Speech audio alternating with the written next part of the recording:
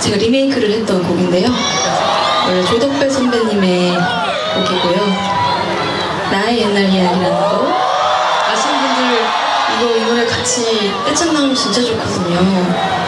이렇게 쓸쓸하던 그거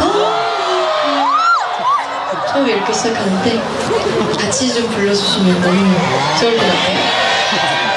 나의 옛날 이야기 해드리겠습니다. 대박이다. 이걸 좋다.